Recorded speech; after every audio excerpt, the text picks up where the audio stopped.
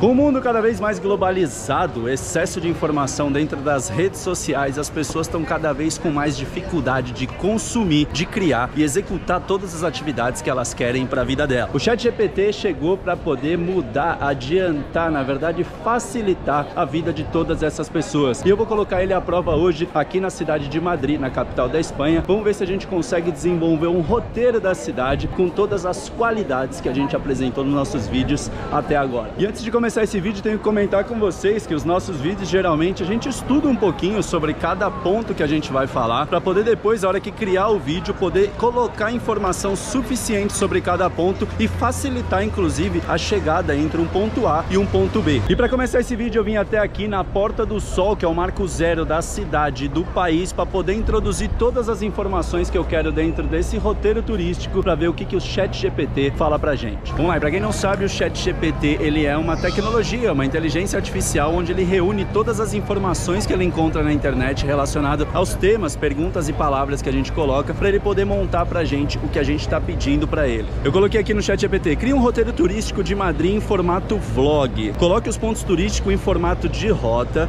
dê sugestões de imagens para a gente gravar de cada local, seja divertido e dinâmico, conte alguma curiosidade de cada ponto turístico e o vídeo deve ter em média 8 minutos. E antes da gente começar a apresentar tudo que ele propôs pra gente, né, como resposta, é importante lembrar vocês que aqui no canal a gente tem mais de 300 vídeos aqui da cidade de Madrid, onde tem muita, muita informação para vocês poderem montar o roteiro de vocês e chegar aqui na cidade com uma noção geográfica e ter autonomia suficiente para poder visitar a cidade como se fosse um morador, assim como a gente faz por aqui. Sem mais delongas, vamos pro vídeo. Olá pessoal, bem-vindos ao meu roteiro turístico aqui de Madrid. Nesse vlog eu vou levá-los a conhecer alguns dos lugares mais incríveis incríveis e interessantes dessa cidade maravilhosa. Então, se você está pronto para explorar, vamos começar. Bom, aqui já peguei um primeiro ponto aí um pouco mal, porque ele já tirou a gente da Porta do Sol, que é o marco zero né, da cidade do país, e jogou a gente para começar o vídeo lá na Plaza Maior. Mas vamos lá. Nossa primeira parada é a famosa Plaza Maior, é o coração de Madrid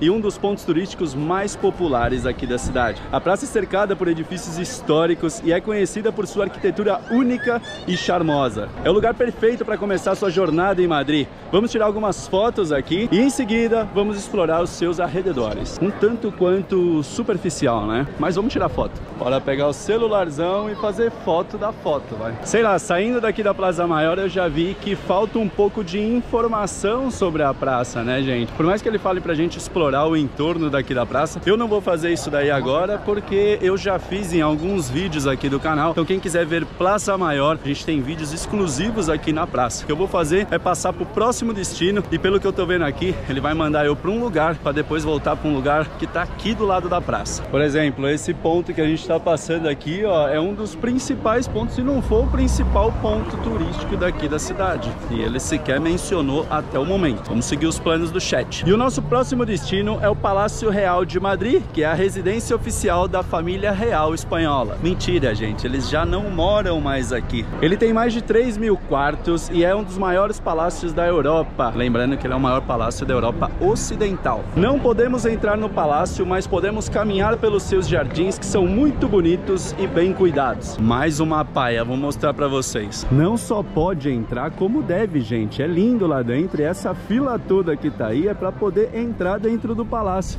Olha o número de pessoas que tem só aqui no quintal do palácio. Ou seja, pode entrar sim, turma. Não se esqueça de tirar algumas fotos especiais especialmente na parte da frente do palácio, onde se tem uma vista incrível. Bora para as fotos. Vou fazer uma foto aqui no portão de entrada aqui, ó, que fica da hora. Já fiz uma esses dias, postei lá no Insta, mas bora fazer outra aqui, ó. Enfim, turma, isso daí é as informações que ele deu. Não são 3 mil quartos, são 3.418 quartos que tem. Não é mais a residência oficial. O rei mora num palácio aqui próximo, que chama Palácio de la Zarzuela, é muito menor do que esse daqui e a visitação tá liberada liberada sim. Inclusive, quem quiser visitar, eu recomendo sempre vocês comprarem de forma antecipada para não ter que pegar essa fila toda aqui, ó. Deixando o Palácio Real aqui atrás de mim, vocês vão ver a sacanagem que essa tecnologia, essa inteligência artificial fez comigo nesse vídeo. Eu tava lá na Plaza Maior, eu vim até aqui no Palácio Real e ele tá simplesmente fazendo eu voltar para um ponto turístico que tá do lado da Plaza Maior, ou seja, uma pessoa que não conhece a cidade. E olha só, lá no começo do vídeo eu pedi para ele colocar em um formato formato de rota, justamente para otimizar tempo. A pessoa que não conhece a cidade ia fazer exatamente isso que eu tô fazendo. Enfim, aqui tá a prova, ó, a Plaza Maior tá aqui e ele me trouxe no próximo destino que é o Mercado de São Miguel. Eu desci a Cali Maior inteira para poder ir até o palácio para depois voltar aqui do lado. Mas vamos lá, vamos falar o que ele conta pra gente aqui. Esse mercado é um dos mais antigos da cidade e é conhecido por sua comida deliciosa. Isso eu dou razão para ele. O mercado tem uma grande variedade de alimento, desde tapas espanholas até frutos do mar frescos. Verdade. É o lugar perfeito para experimentar a culinária local e também comprar alguns souvenirs. Aí eu discordo.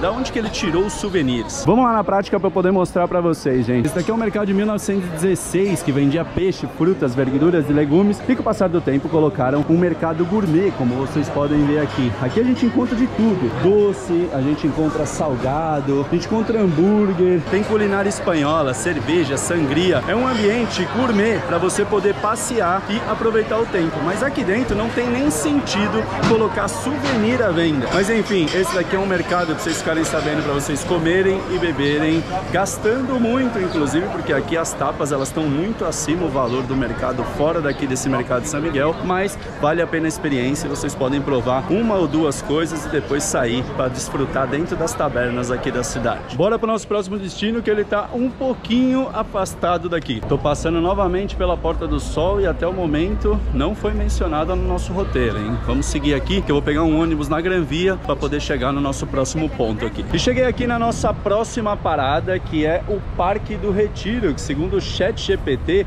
ele é um dos parques mais famosos de Madrid. É um lugar enorme, bonito, com muitas áreas verdes, lagos e fontes. É perfeito para fazer um piquenique, andar de bicicleta ou simplesmente relaxar e desfrutar da natureza.